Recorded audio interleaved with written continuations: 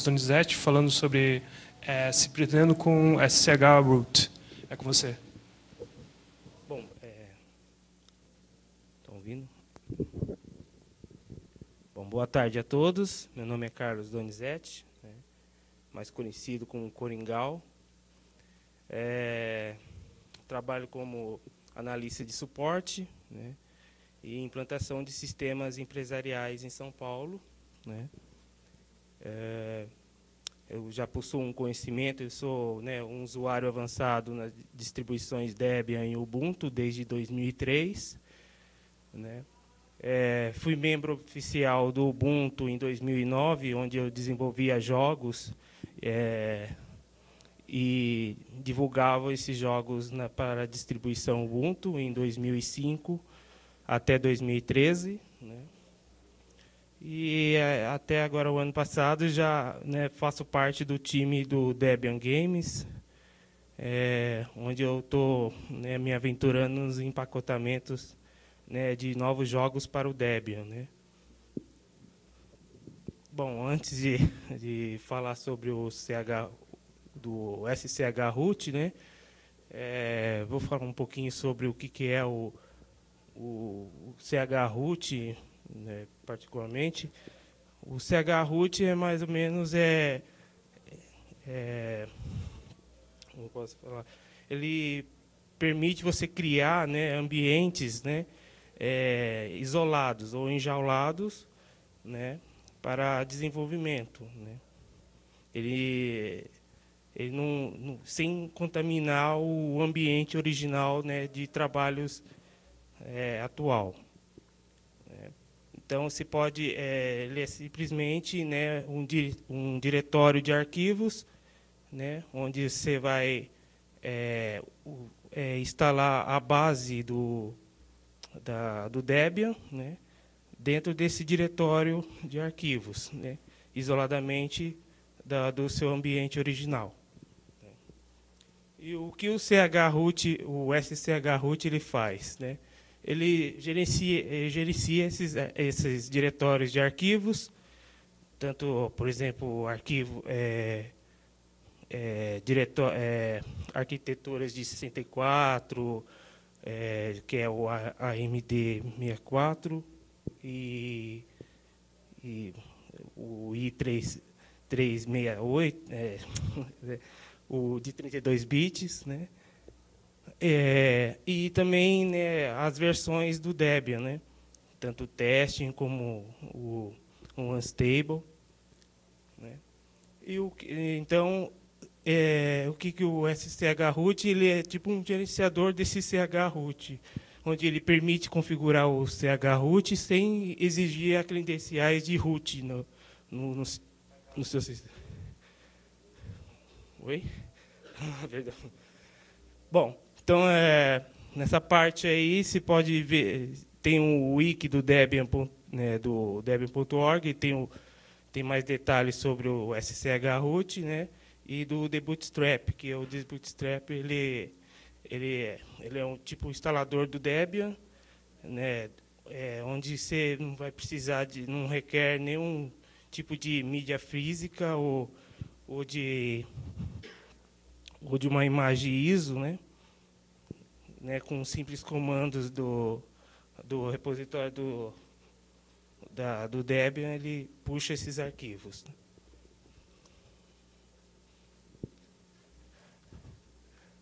Bom, a, a coisa mais simples para iniciar o aprisionamento do, do sistema, né? É, você entra na, na parte do, do, do root e dá um apt install de bootstrap e o, é, o SCH root. Após instalar, ele é pequeno, ele acho que dá uns 2, 3 megas no máximo a instalação desses, desses dois, dessas duas ferramentas. É, terminando, você vai entrar com o seu editor né, e vai entrar na parte do, do schroot.conf. Né. É, meu, particularmente, eu sempre gosto de, né, de fazer um backup antes de eu fazer um, alguma coisa de, de, alteração lá no, no schroot.conf. Né? E, então, sempre dou um copy, no final dou um word no, no final do conf, né, para fazer essa, esse tipo de alteração. Né. Ah, vou demonstrar aqui.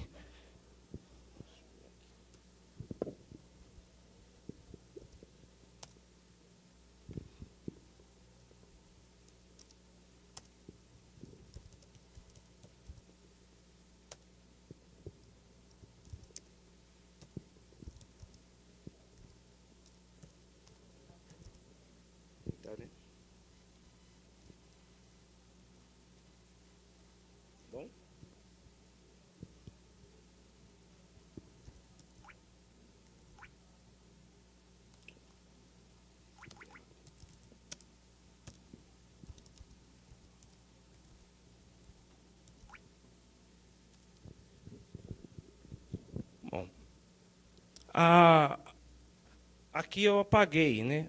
Na, na, na, parte oficial ele vai ter é, diversa, diversas é, linhas comentadas, né, para você pegar e né, estudar um, a, como é o procedimento de fazer a configuração do SCH root, né? Para a gente, para o básico, né, é necessário só essas linhas, né? Que é para você é, é ótimo para você pegar e já iniciar o seu empacotamento Debian ou fazer algum estudo, o trabalho, né, para a distribuição Debian básica, né. A primeira, onde que está em conchete lá, é, é o nome da, desse, dessa prisão do, do, do sistema Debian básica, né? A segunda é uma descrição dessa, desse aprisionamento, né? A terceira é o tape, é onde que ele vai, né, onde vai mostrar esse diretório, onde que você vai né, é, instalar a, a, distribuição básica do Debian. Né? A terceira é o caminho, que esse aqui é, é não é obrigatório ser esse caminho, você pode até colocar, instalar como no home, pôr no barra home, barra o nome do usuário e o nome do, do diretório, onde você vai é, instalar, essa, é, instalar a base do, do Debian. Né? O, usuário, o usuário é o seu usuário né, do, do ambiente original, onde você está trabalhando. Né? No meu caso é Coringão, mas aí é o usuário da sua máquina, né, inicialmente. O root traço groups root é o root da sua máquina mesmo, né? E o preserve é, environment é como está true é para você é, permitir né, visualizar a, a, a prisão do da, da, dessa pasta, desse diretório root, da, do, do instalador, né, do, da base do, do, do Debian nesse diretório unstable 64. Né.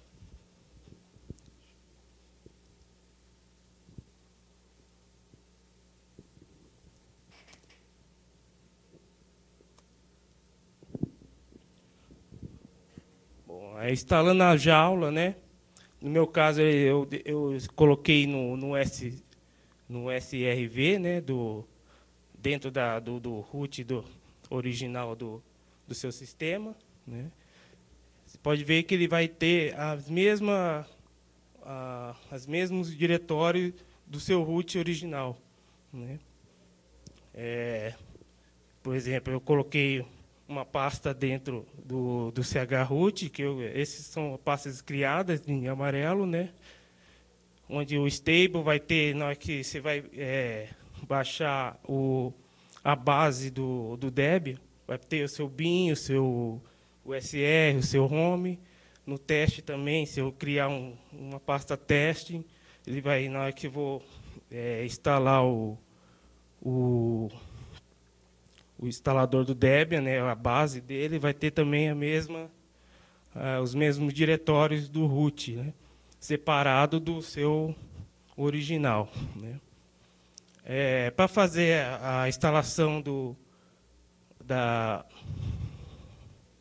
do instalador do, do Debian, a base do, do Debian, é, depois que você instalou o The Bootstrap, você vai pôr The Bootstrap menos menos o arc igual a, a, a, arquite, a arquitetura que você está querendo instalar, se é o, o, de, o AMD64 ou i386. Né? Pode também, em vez de deixar esse é, tracinho igual, você pode deixar sem ele, que ele também ele já vai reconhecer.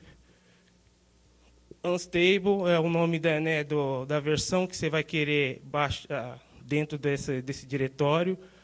Pode ser também o testing ou o GES, dependendo do que você vai colocar o, né, a versão. Né.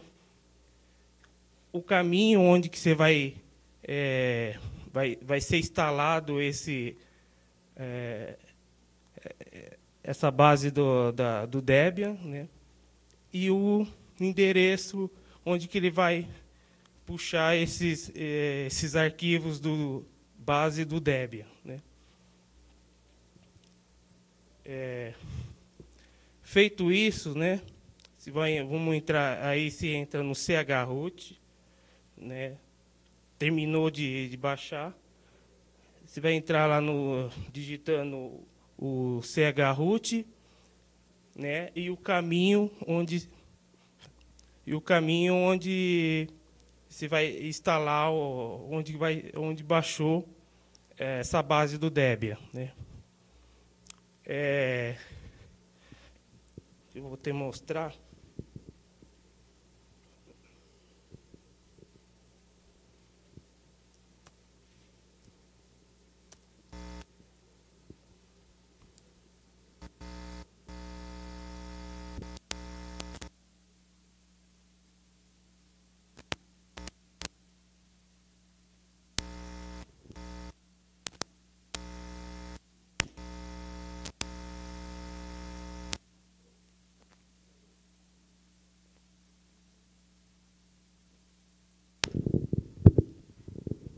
Pronto? É, pegou, pegou. Ah, tá. É, é, entrou na, no, no chroot dele, né, vocês vão perceber que não vai, é, não, ele não vai te demonstrar que você está dentro do, do root do, desse, do, é, do chroot. Né? Você vai digitar esse comando, depois que você entrou nesse, nesse, terceiro, nesse primeiro, você vai é, fazer o comando do proxy, que ele é uma, um diretório virtual, né? vai pôr esse proc para essa pasta do, do etc barra fst tab é, depois, é, o terceiro, você vai montar esse, essa pasta do, do PROC. Né?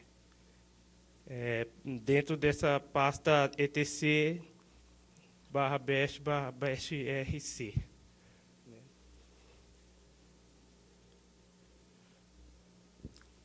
Feito isso, você pode sair, sai de, dessa, dessa tela e entra como usuário comum né, do, do, do seu terminal. Né? Pode, vocês podem perceber que vai, é, quando você, esse primeira linha é, vai aparecer a listagem das pastas que você criou no chroot. No meu caso, eu tenho esse o unstable tracinho AM64, é, vou mostrar aqui.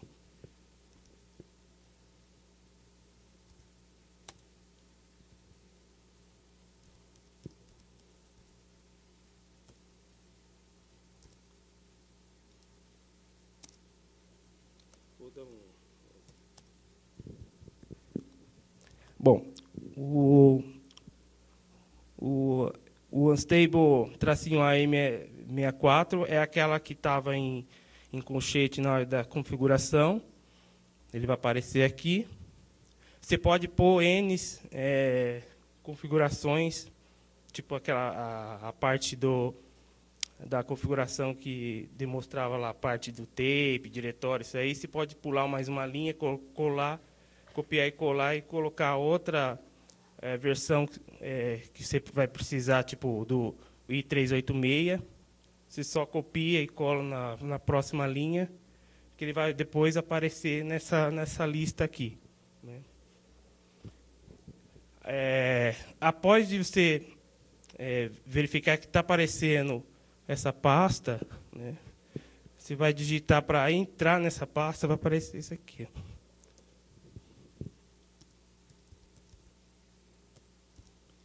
Esse menu C significa o chroot de, dessa desse diretório que a gente é, criou.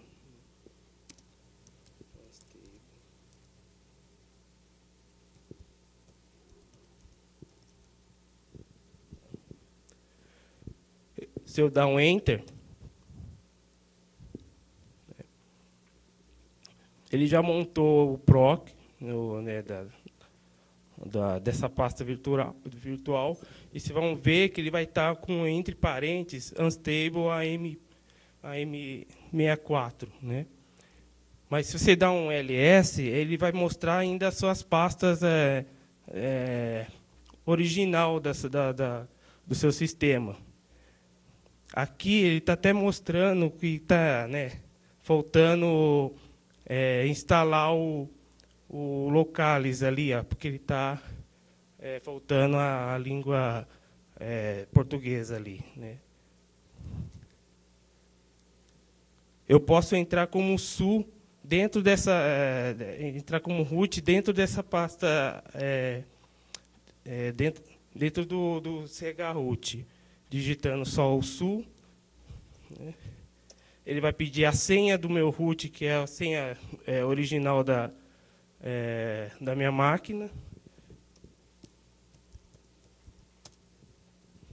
E eu vou, já estou como root dentro desse, desse chroot, né? onde eu posso dar um apt né? e instalar o, o Localis.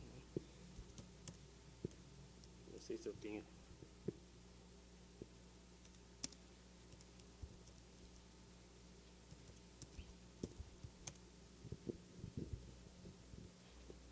Acho que, nem, acho que não tenho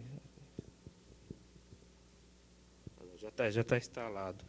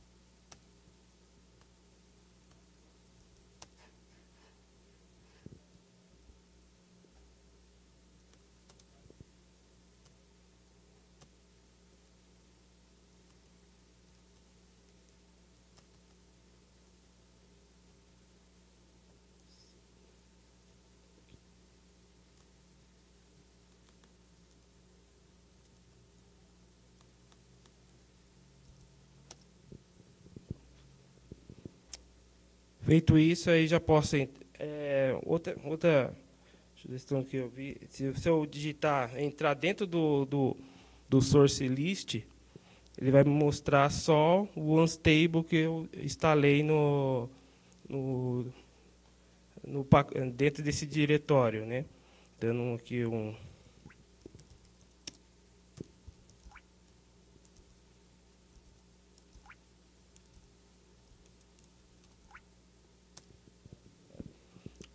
vai me mostrar só o que está dentro do diretório, né? do, do SCH root. Se eu sair fora, ele vai me mostrar o, o diretório original da minha máquina.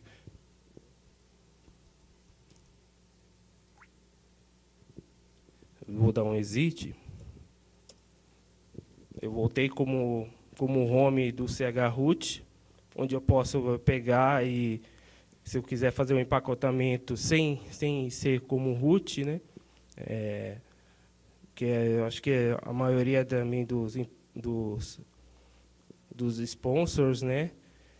Eles preferem que, que na hora que se for fazer um, um empacotamento no, do, dos seus arquivos, seja como home, no lugar de ser o root. Né?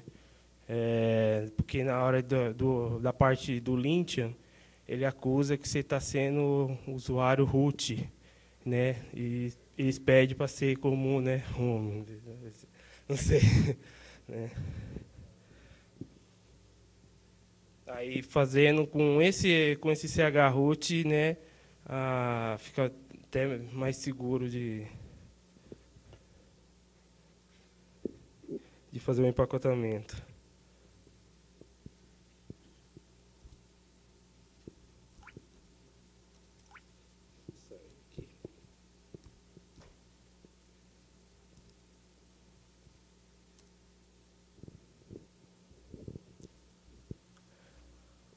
Bom, então aqui já é um mais ou menos, então é o, o SCH root menos C, que é que é o é o CH root, unstable, põe o nome da pasta, o diretório que você criou.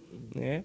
Se caso queira é, entrar como root direto, é, você só coloca menos o root, ele já entra como root da, da, dessa pasta. Não precisa entrar como sul dentro da, da, da, da pasta root, CH root. Né?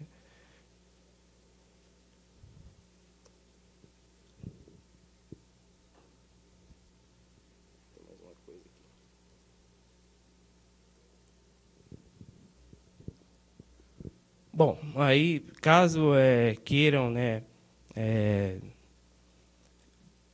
ter mais um, é, tipo, querer aprender uma coisa sobre é, como fazer um, é, um CH root, ou querem, querem me entrar em contato comigo, né, só mandar um e-mail para né, coringão.riseup.net, né, ou se pode me encontrar no, no Twitter como Coringão, ou no Debian Dicas, que é, né, às vezes eu mando umas notícias sobre, sobre o Debian por lá. No, no Iker você me encontra por Coringão, entre nesses canais no, no Debian Tracinho BR, no, no Debian Devel BR, no Debian Games e no Debian Mentors. Né? É, tem alguma dúvida?